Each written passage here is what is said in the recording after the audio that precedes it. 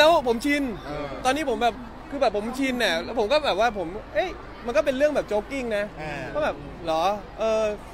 โดนเรื่องนี้อีกแล้วเอ๊ะสงสัยต้องใส่กางเกงผ้าล่มใหญ่ตัวใหญ่ๆแล้วล่ะอะไรอย่างเงี้ย